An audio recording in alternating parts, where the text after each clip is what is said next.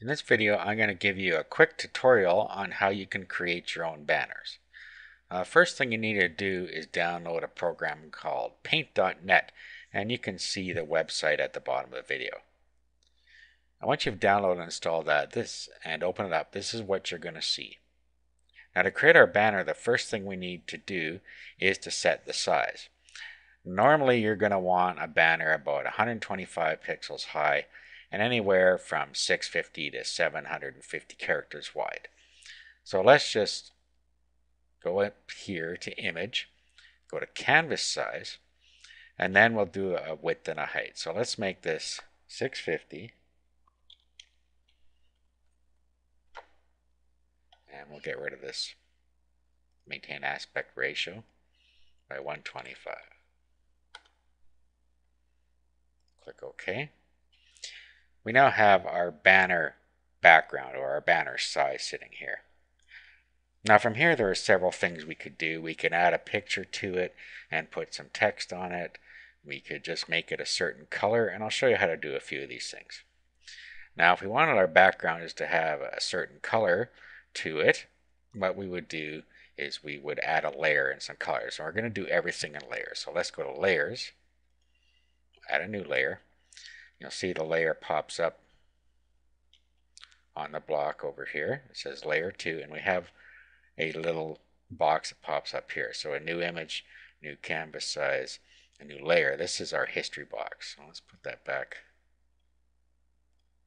Not sure why it's doing that.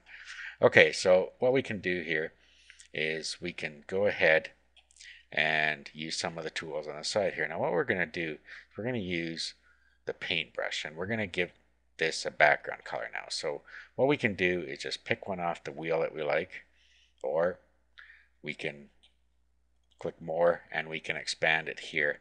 And there's different way to choose colors, but you can pick your color from here by clicking on one of these, clicking inside the wheel, putting the color code in here, however you want to do it. I'm just going to pick this color as an example. So I push the paint fill or the bucket fill, which is this one, and you can just hold your mouse over any of these tools. And if we just click in there, you'll see that we now have a colored background. Okay, so for our next step, what we do is we create another layer. So we'll add new layer. And here, we could say if we wanted to put some text on here. So what we would do is pick the text, which is this one, then we want to pick a color for our text. This little thing here just swaps the color. So I want my text white. I'm going to do that, but you could pick white out of here as well just by clicking on it.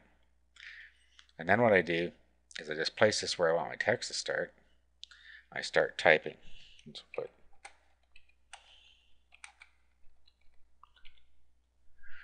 Okay, and then while it's still on there, if we're not happy with that, we can go up here and change it. We'll make it bold and then we can change the size and the font. Let's make the font something else here. Let's say we want that to be the font. We want a little bigger. Okay, and then once we're happy with that, we can drag it around just by putting our mouse on this little cross here and doing that. Okay, so we have that there. If we wanted more text, we could just do this again. Just click on the text thing and just click in here somewhere where we want to start again inside the banner.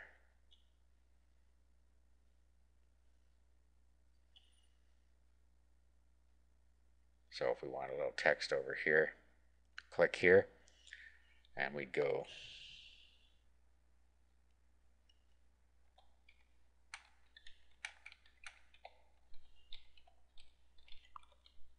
something like that. And again, we can change the size of it and fonts and so on up here. Can move it around by grabbing a hold of the little cross there.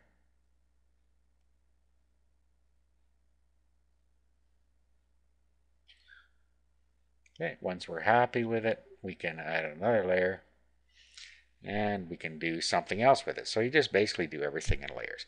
So let's say we wanted to put a image on this side. Now we could either create an image layer or we can create a regular layer like we did. So let's undo the last action. Let's do an undo. So what we could do is we could do an import from file. So if we click on this, then we can find a picture that we want to add on here. Now it would have to be resized first. So what I would suggest you do, if you're going to put like an ebook cover or something on here, I would resize it first. And that's easy to do. What we can do is we can just open another one. So we'll do an open. And then we just bring in the image we want in a separate area here.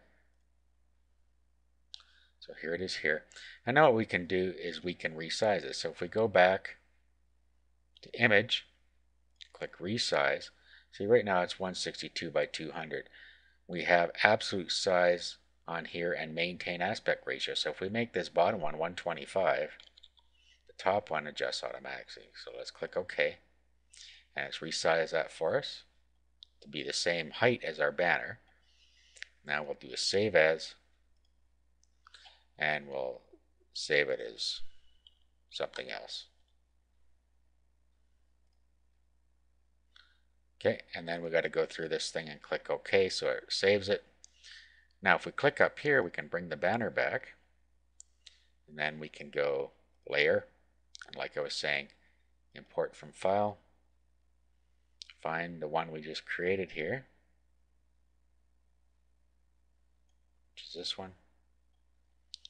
And there it is there.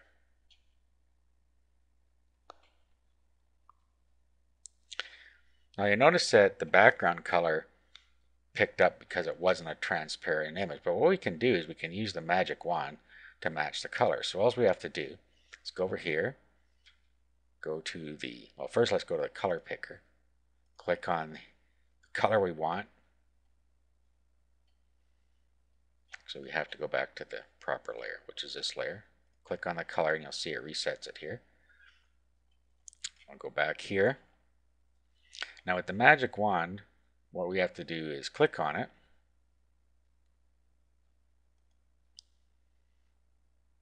Okay, and then everything that is that color.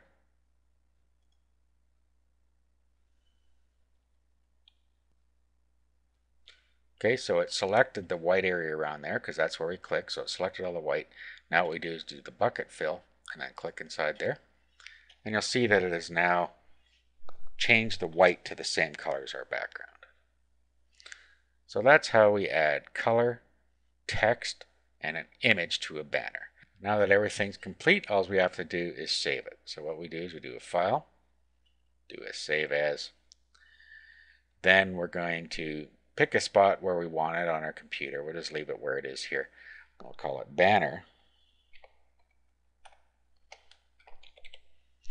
Now, there are different types you can save it down here. If you save it as a paint.net, it'll save the project as you have it now. But if we want to save it, for instance, as a JPEG, we can pick JPEG here, do a save. And then it goes through and to ask us about the settings and quality. So we'll just leave the defaults there. Tell us that we have to flatten it. And there, it's done. Now we can open our image with our browser. Okay, so here's our banner. If we click on it, it'll open it in the viewer. There's what it looks like. And we can also open it by doing an open with and with whatever browser we're using, is Firefox.